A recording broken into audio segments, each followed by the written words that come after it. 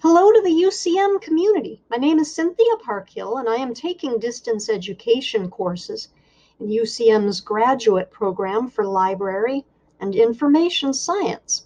I recently learned about One Campus, One Book, which was a common reading program at UCM from 2013 to 2017.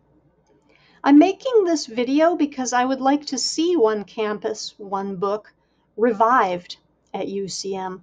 I saw a reference to it on the webpage for the American Democracy Project, but One Campus, One Book is currently inactive. One Campus, One Book began in 2013 as a cross discipline effort among the Creative Writing Program, the English Composition Program, and the American Democracy Project. That's according to a presentation by Associate Professor and Librarian Jerry Brown at UCM's James C. Kirkpatrick Library. The purpose of UCM's Common Read was to engage UCM students and the campus community and to bring meaningful conversations on relevant, complex subjects beyond the classroom and into students' daily lives. That's according to the American Democracy Project. Each year, the program would culminate with a visit by the author of the featured book.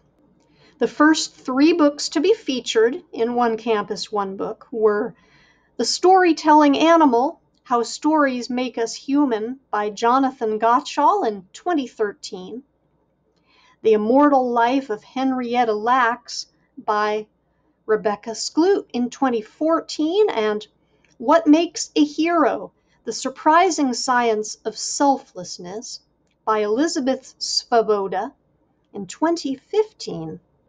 I found references to two additional books via posts to Facebook by Lifelong Learning at UCM.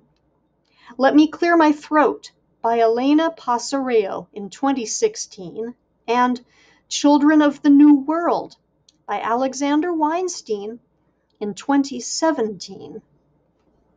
A representative with the American Democracy Project confirmed for me that One Campus, One Book is inactive at UCM, but could be revived if interest is piqued once again on campus.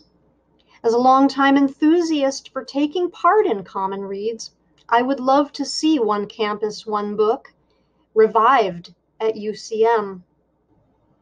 I additionally think that One Campus, One Book would be a great fit with the Library and Information Science program here at UCM with SOLIS, our student chapter of the American Library Association, and with UCM's James C. Kirkpatrick Library.